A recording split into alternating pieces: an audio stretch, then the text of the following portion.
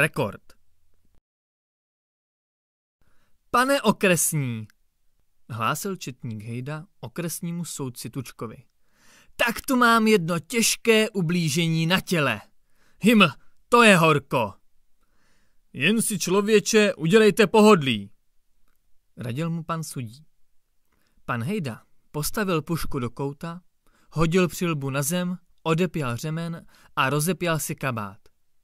Uf, řekl. Zatracený holomek, pane soudce. Takový případ jsem ještě neměl. Tak se podívejte. Po těch slovech zvedl něco těžkého, zavázaného v modrém kapesníku, co prve nechal ležet u dveří. Rozvázal uzlíky a vybalil kámen veliký jako lidská hlava. Jen se na to podívejte, opakoval důtklivě. Co má na tom být? Ptal se pan soudce, rýpaje do toho kamene tuškou. To je buližník, ne? Je. A pořádný kus, potvrzoval pan Hejda. Tak hlásím, pane soudce, Lisický Václav, cihlářský dělník, 19 let, bytem v cihelně, máte to? Praštil nebo uhodil přiloženým kamenem, váha 5 kg, 949 gramů, Pudila Františka, statkáře. Dolní újezd číslo 14. Máte to?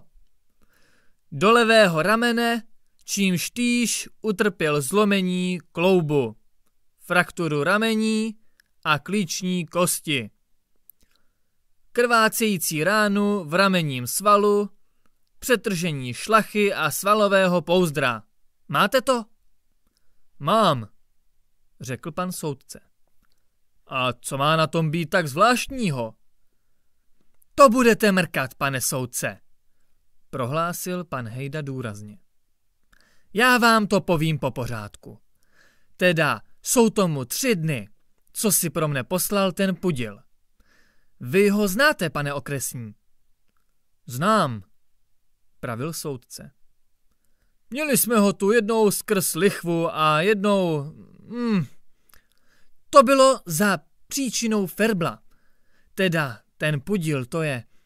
Víte, on má třešňový sad až k řece. Ona se tam sázava kroutí a proto je tam širší než jinde. Teda ten pudil si pro mne ráno poslal, že se mu něco stalo. Já ho najdu v posteli, jak heká a nadává. Tak přišel včera večer na sad podívat se na Vajksle. A tam vám nachytal na stromě nějakého kluka, jak si spal do kapes střešně. Víte, on je ten podíl trochu rabiát. Tak on si odepěl řemen, stáhl kluka za nohu ze stromu a řeže do něho řemenem. A v tom na něj někdo z druhého břehu volá. Podíle, nechte toho kluka. On ten podíl trochu špatně vidí. Já myslím, že to je od toho pití. Zmerčil jenom, že na druhém břehu někdo stojí a kouká na něj. Proto jen pro jistotu řekl, co ti je potom, lumpe, a řezal do toho kluka tím víc. Podíle, zařval ten člověk na druhém břehu. Puste toho kluka, jo? Podíl si myslel, co ty mě můžeš udělat a proto jen křičel. Vles mě někam, ty troubo. Jen to řek a už ležel na zemi se strašnou bolestí v levém rameni. A ten člověk na druhém břehu povídal. Já ti dám, ty mamla se statecká. Poslouchejte, oni toho pudila museli odnést. Ani vstát nemohl. A vedle něho ležel tenhle kámen. Ještě v noci jeli pro doktora. Doktor chtěl pudila odvést do špitálu, protože má všechny kosti na maděru.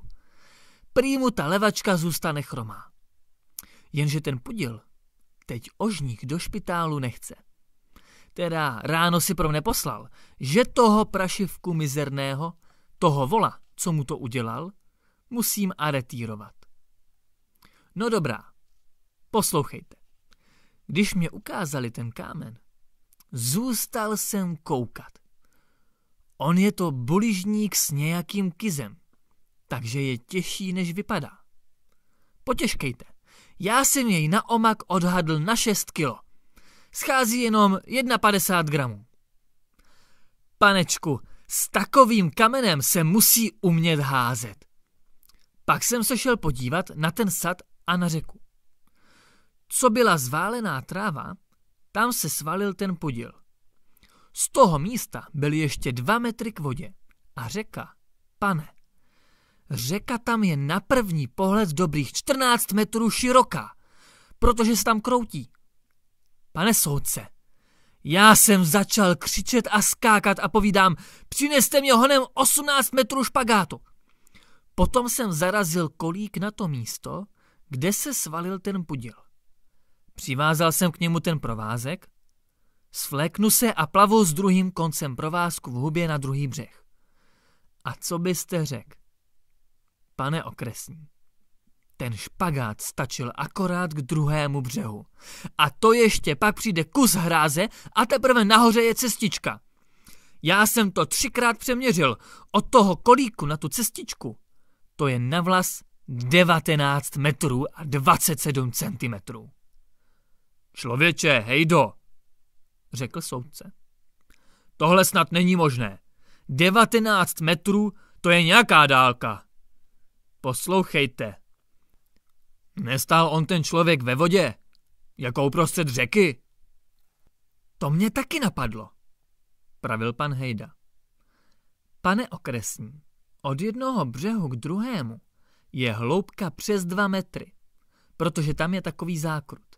A potom kameni byl ještě dolík v hrázi. Víte, ten druhý břeh tak trochu vydláždili, aby ho tam nebrala voda. Ten člověk vytrhnul ten kámen z hráze a mohl jej hodit jenom z cestičky, protože ve vodě by nestačil a na hrázi by sklouzl. To tedy znamená, že hodil 19,27 setin metru. Víte, co to je? Třeba měl prak, mínil soudce nejistě. Pan Hejda na něho vyčítavě pohleděl. Pane okresní, vy jste nikdy neházel z praku, že jo? Tak to zkuste vystřelit z praku dvanáctiliberní kámen. To byste musel mít katapult. Pane, já jsem se s tím kamenem dřel dva dny. Zkoušel jsem udělat nějakou smyčku a roztočit jej. Víte, jako při vrhu kladivem. Já vám říkám, to vám vyklouzne z každé smyčky. Pane, to byl čistý vrch koulí. A víte, vyhrkl rozčileně, víte vy, co to je? To je světový rekord, tak! Ale dejte pokoj, užasl pan soudce. Světový rekord, opakoval četník Hejda slavnostně. Ona závodní koule je těžší, váží 7 kilo a letošní rekord v závodní kouli je 16 metrů bez nějakého centimetru. 19 let, pane, byl rekord 15,5 metru. Až letos jeden Amerikán, jak pak on se jmenuje, nějak jako Kuck nebo Hirschfeld, hodil skoro 16.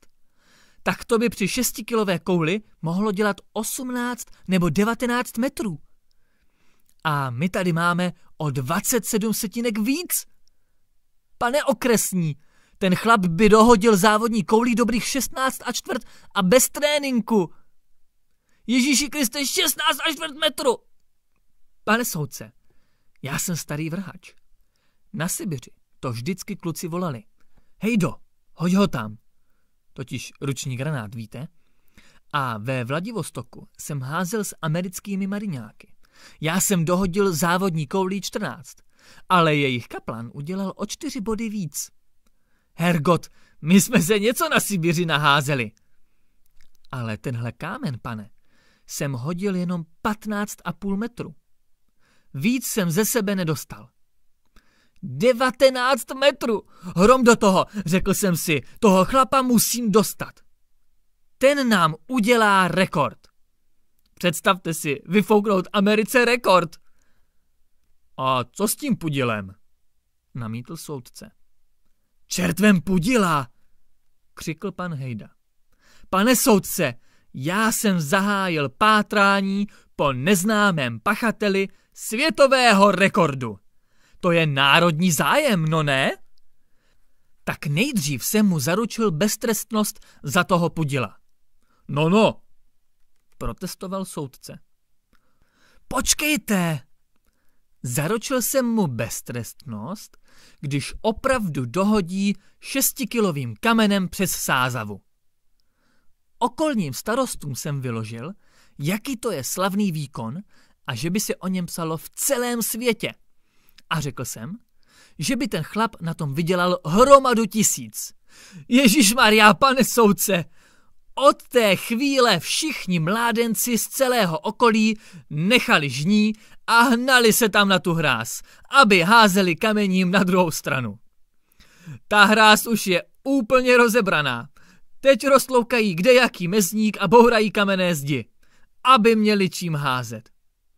A kluci, pakáš jedna, házejí kamením po celé vesnici.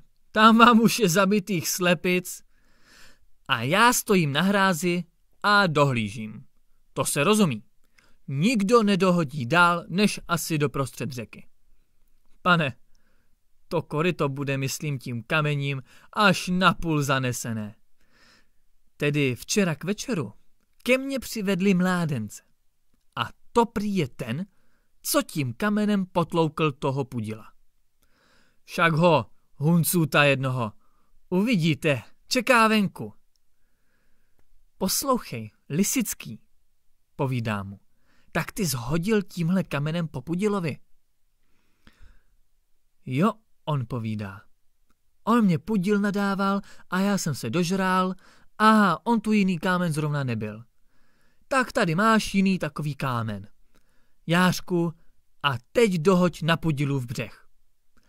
Ale jestli nedohodíš, ty kujone, tak ti proženu perka. Tak on vzal ten kámen, pracky měl jako lopaty. Postavil se na hráz a mířil. Koukám, techniku neměl žádnou, styl žádný, nepracoval nohama ani trupem a plums hodil kámen do vody asi 14 metrů. Víte, je to dost, ale... Dobrá, tak já mu ukazuju. Ty trulanté, to se musíš postavit takhle. Pravým ramenem dozadu a když hodíš, tak současně přitom musíš vyrazit tím ramenem. Rozumíš? Jo, on na to. Skřivil se jako svatý a nepomucký a plums hodil kámen na deset metrů. Víte, to mě dožralo. Ty lumpe, křičím. Ty, že strefil toho podila. Ty lžeš. Pane Wachmeister, povídá on. Pán Bůh ví, že jsem ho trefil. Ať se tam podíl postaví, však já na něj zas dohodím, na toho psa zlýho. Pane, já jsem teda běžel za tím podílem a prosím. Pane podíle, koukejte se, tady jde o světový rekord. Prosím vás, pojďte zas nadávat na ten váš břeh a on ten cihlář po vás hodí ještě jednou. A to byste nevěřil, pane soudce, ten podíl že ne a že nepůjde ani za nic. Vidíte, tihle lidé nemají žádné vyšší zájmy. Tak jdu zas na toho Vaška, toho cihláře. Ty podvodníku, křičím na něj. To není pravda, že spudila pobyl. Ten podíl říká, že to byl jiný. To je lež, povídá Lisický. To jsem udělal já. Tak ukaž, povídám dohodíš-li tak daleko. Ten Vašek se jen drbe a směje. Pane Wachmeister povídá. Takhle na prázdno to já neumím. Ale do toho pudila trefím vždycky. Na toho mám dožer. Vašku, říkám mu po dobrém. Dohodíš-li, pustím tě. Když nedohodíš, tak půjdeš sedět pro těžké ublížení na těle že z toho pudila schromil. Ty holomku, za to dostaneš půl roku. Tak to já si odsedím v zimě, řekl ten Vašek. A já jsem ho teda ve jménu zákona zatknul. Teď čeká na chodbě, pane okresní. kdybyste tak z něho dostal, hodil-li opravdu ten kámen, nebo jestli jen renomíruje. Já myslím, že se lekne a odvolá. Ale pak mu, Lumpovi, nasolit aspoň měsíc pro klamání úřadu nebo pro podvod. Přece ve športu se nesmí lhát. Na to by měl být pořádný trest, pane. Já vám ho přivedu. Tedy vy jste ten Václav Lisický, řekl okresní soudce, pohlíže je přísně na bledovlasého delikventa. Vy se přiznáváte, že jste v úmyslu ublížit mu hodil tenhle kámen na Františka Podila a že jste mu přivodil těžké zranění. Je to pravda? Prosím, pane soudce, začal provinilec. To bylo tak. On, ten Pudil tam mlátil nějakého kluka a já jsem na něj volal přes tu řeku, aby toho nechal. A on mě začal nadávat. Hodil jste ten kámen nebo ne? Spustil soudce. Prosím, hodil, řekl provinilec zkroušeně. Ale on mě nadával a tak já jsem popadl ten kámen. Hrom do vás, rozkřikl se soudce. Proč lžete, člověče? Nevíte, že na to je veliký trest, když chcete obulíkovat úřady? My víme dobře, že jste ten kámen nehodil. Ho, ho, ho, hodil, prosím, koktal mladý cihlář. A, ale, ale on mě pudil, řekl, abych mu vlezl někam. Soudce se podíval tázavě na četníka Hejdu, jenž bezradně pokrčil rameny. Svlékněte se, člověče! Obořil se soudce na zdrceného výníka. No tak honem! A Katě taky. Bude to? Nyní stál mladý obr, jak ho pán Bůh stvořil, a třásl se. Nejspíš se bál, že bude mučen a že to už patří k věci. Koukejte, hejdo, na ten deltoides, pravil soudce Tuček. A ten dvojhlavý sval, co tomu říkáte? No, ten by ušel, mínil pan Hejda znalecky. Ale břišní svaly nejsou dost vypracované. Pane okresní, na vrch koulí je potřeba břišních svalů. Víte, jak se otáčí trup. Kdybych vám ukázal své břišní svaly, člověče, bručel soudce. Vždyť to je břicho, koukejte ty hrboly. Hergot, to je hrudník, řekl, píchaje prstem do zlatého chmíří vaškových prsou. Ale nohy jsou slabé. Tihle venkovaní mají vůbec špatné nohy. Protože je neohýbají, pravil pan Hejda kriticky. Tohle přece nejsou žádné nohy. Pane, vrhač musí mít nějaké nohy. Obraťte se, vyjel pan soudce na mladého cihláře. A co ta záda? Tady od ramen to je dobré, mínil pan Hejda. Ale dole to není nic. Ten chlap nemá v trupu žádný švunk. Já myslím, pane okresní, že to nehodil. Tak se oblecte, utrhl soudce na cihláře. Poslouchejte, člověče. Poslední slovo. Hodil jste ten kámen nebo ne? Ho, ho, hodil. Mumlal Václav Lisický zberaní tvrdohlavostí.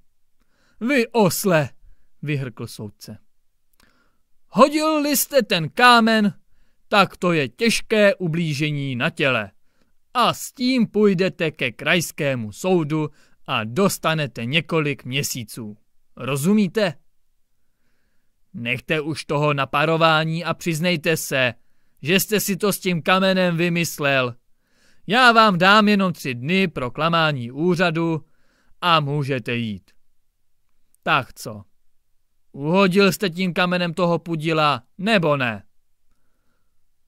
Uhodil, pravil Václav Lisický zarytě. On, on mě přes tu řeku nadával.